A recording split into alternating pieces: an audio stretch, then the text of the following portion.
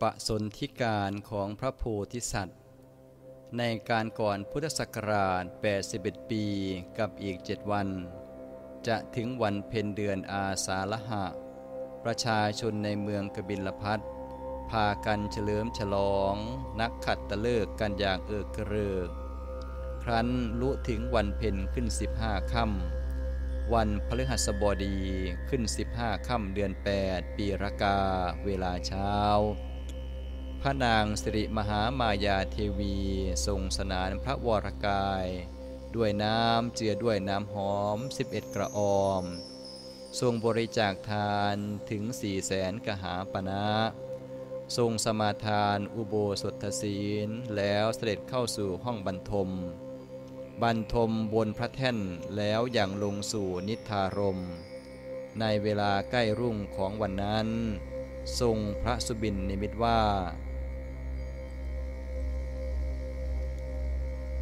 เท้าจตุโลกบาลทั้งสี่มายกพระแท่นบรรทม พร้อมกับพระนางไปยังป่าหิมพาน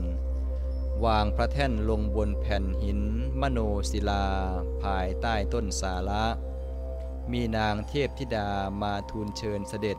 ให้ลงทรงน้ำในสะอโนดาตแล้วทรงฉลองพระองค์ด้วยทิพยภูษา อัญเชิญเสด็จให้เข้าสู่วิมานทองสำเร็จการบรรทมในวิมานนั้น ทันใดนั้นมีพญาช้างเผือกเชือกหนึ่งเดินชูงวง ถือดอกบัวขาว ตรงมาที่พระนางกระทำปัทักษิณสามรอบ แล้วเป็นเสมือนหายเข้าไปในพระอุทธรเบื้องขวาของพระนาง ขณะที่ทรงพระสุบิน นิมิตจบลงพร้อมกับตื่นพระบรรทม พระโพธิสัตว์ ได้จุติลงจากเทวโลกเข้าสู่พระคันของพระมารดา ขณะนั้น มหาปัตภีก็กำพนาดวันไหว มีรัศมีส่องสว่างไปทั่วทุกทิศ เป็นบุพนิมิตธรรมเนียมนิยมของการถือปฏิสนธิการในพระคันของพระโพธิสัตว์ คันรุ่งเช้าพระนางเสด็จเข้าไปเฝ้าพระเจ้าสุดโทธนะ ผู้เป็นพระราชสวามีกราบทูลเล่าสุบินนิมิตให้ฟัง พระองค์จึงทรงมีรับสั่งให้พราหมณ์โหราจารย์จำนวน 64 คน เข้ามาทำนายสุบินนิมิตนั้น ว่าจะดีหรือว่าร้ายประการใดหวนหลวงทั้งหลายเมื่อคำนวณตามหลักวิชาของตนแล้ว มีความเห็นตรงกันจึงถวายพระพรไปว่า พระสุบินนิมิตของพระอัครมเหสีเป็นมงคลนิมิต เพราะพระองค์จักได้พระราชโอรสผู้มีบุญญาธิการมากยิ่งกว่าบุรุษทั้งปวง เป็นบุรุษชาติเชื้ออาชาในผู้เป็นที่พึ่งแห่งสรรพสัตว์ทั้งปวง หาผู้อื่นเสมอเหมือนไม่ได้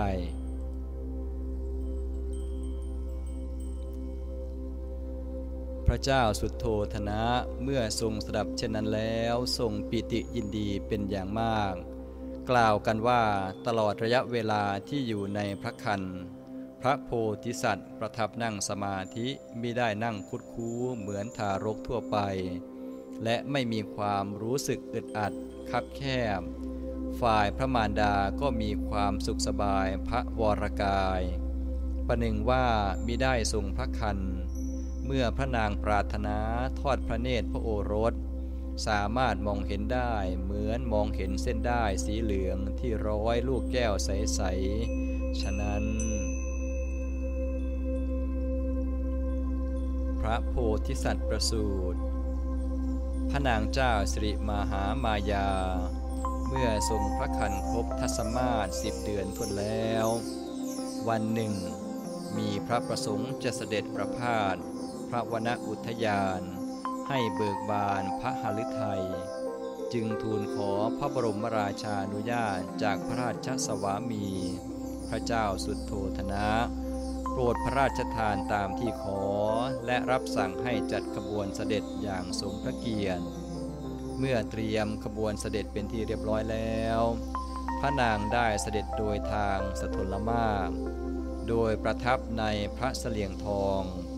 วันนั้นตรงกับมงคลสมัย วิสาขปุรมี ดิถีเพนเดือนหก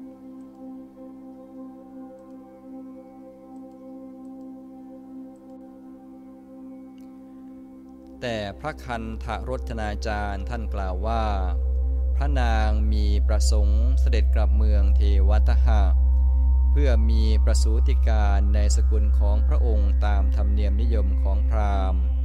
จึงทูลขอพระบรมราชานุญาตจากพระราชสวามี เมื่อขบวนเสด็จมาถึงอุทยานลุมพินีวัน ซึ่งตั้งอยู่ระหว่างเมืองกบิลพัทและเมืองเทวันทหะพระนางมีประสงค์จะประพาสอุทยานเพื่อพักผ่อนพระวรกาย จึงรับสั่งให้ขบวนเสด็จหยุดพักในที่นั้น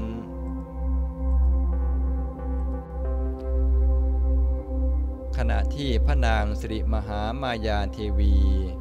กำลังสำราญพระอิริยาบถด้วยการประพาสป่าไม้สาระอยู่นั้น